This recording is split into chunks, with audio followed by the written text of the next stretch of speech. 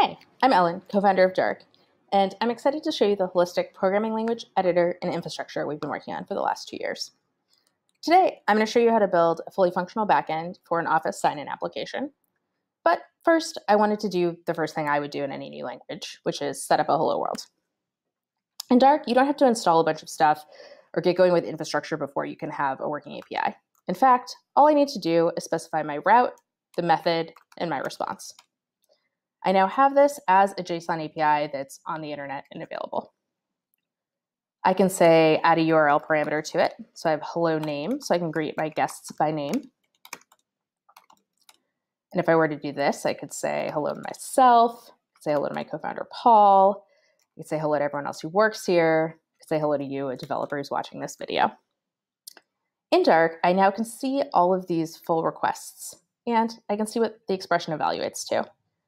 If I chose to change a piece of it, I could see what that trace would now evaluate to. So that's how you get started with Dark. But let's get into building a full backend with, say, workers and API integrations and all your usual backend things. Ahead of time, we built this React application. It's the front end for our Office sign-in application. The only thing that's special about it is that it's pointed at Dark's API for the backend. Otherwise, Dark is completely front-end agnostic. You can use React, Vue, Svelte, any tool of your choice. I previously built this application in my terminal, npm run build, probably looks pretty familiar. And now I'm going to use Dark's command line application to upload my build file into our CDN. So now that those assets are available for me, what I can do is I can just serve them at whatever route I want, in this case, just the base one. And I need the index.html. So there we go, React application. Right now we're getting a 404 because we haven't built out our API yet. So let's do that. Traditionally, I would use my browser tools to inspect, check my console. In Dark, I don't need to do that. I can actually get in real time what request is failing and create that endpoint.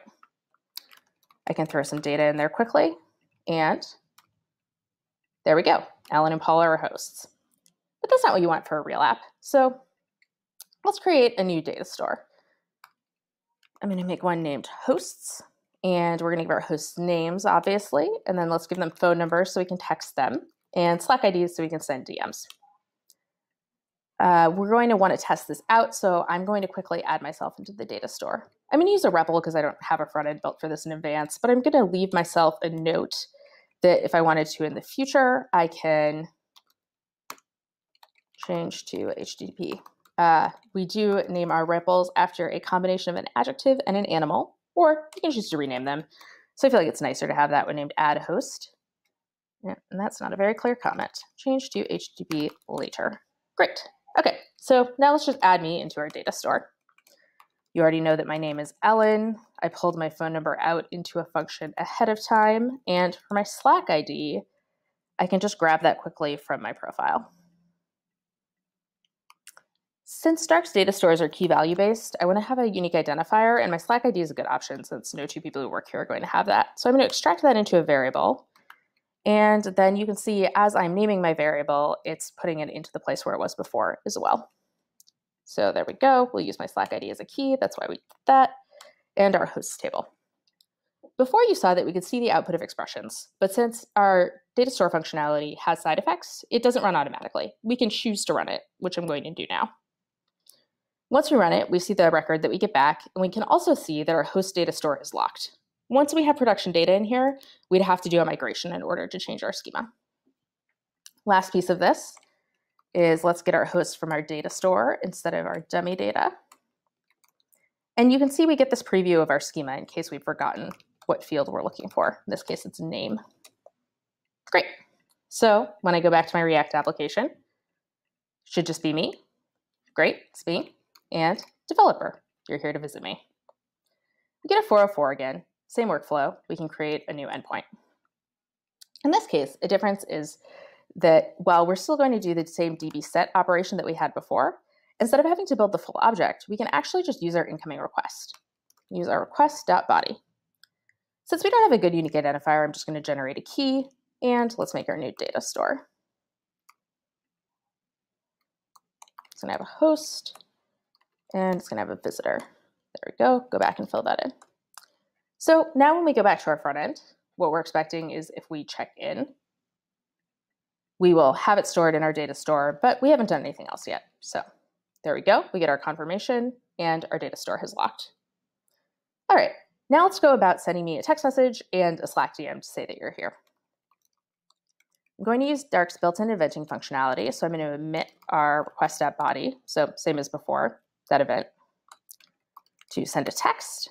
And I'm going to write similar logic to do the same thing, but to send a DM.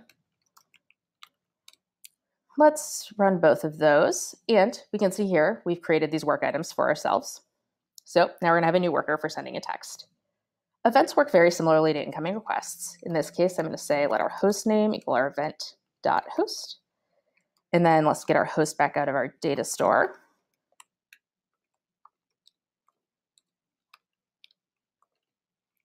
And let's just make sure we get a response. We do. And the thing we really care about is our host phone. And let's write our message, which would be event dot visitor is here to see you. Great. So now I think we have everything we're going to need. And let's use Twilio to send our text message. In Dark, we've wrapped the Twilio API. So when I type Twilio, I get this Twilio send text function. It shows me all of the parameters I need to call into this API. And so I pulled out my credentials ahead of time. So I need my SID, my token, and my phone number. My two number is going to be my host phone, and my body is going to be my message. Like we saw before with our database operations, we can choose to execute this API call. We can see that we get an OK response, confirmation, and I actually got a text message. Great. So one thing left to do.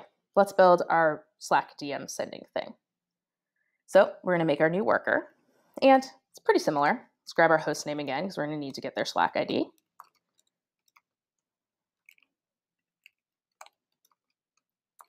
And Dark's copy paste works by expression. I'm just going to go grab this. Thanks, Siri. Not very necessary. And my pleasure, as always. Now we're going to get our channel, which is going to be our host.slackid. And let's just check real quick. Yep, there we go. Okay, so now since we're using the Slack API, we are going to want to pass in a header that both specifies our content type and also our auth credentials. So let's get going on that. First part, uh, Slack needs a bearer token, and you've probably already guessed I pulled out my token in advance. And let's merge that with our JSON content type.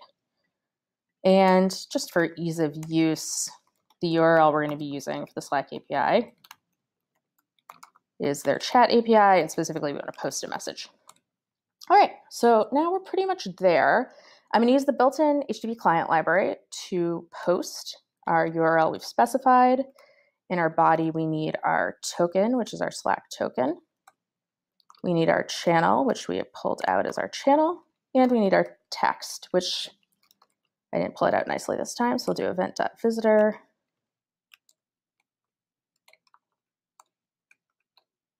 Is here to see you. Uh, we don't need a query, so I'm just going to make an empty object, and then we have our header. So let's try this. Hit our play button again, bot message, and message. So I think now what we should have is an application where when we go to our front end, we're able to specify who we're checking in to see. We could add more people to our data store, but right now we just have me. When we check in as developer three, should get stored in our data store. I should get a Slack and a text. And that's how you build a complete functional backend in Dark for something like an Office sign-in application in less than 10 minutes. If you're excited about this or have something similar to build, please join us at darklang.com.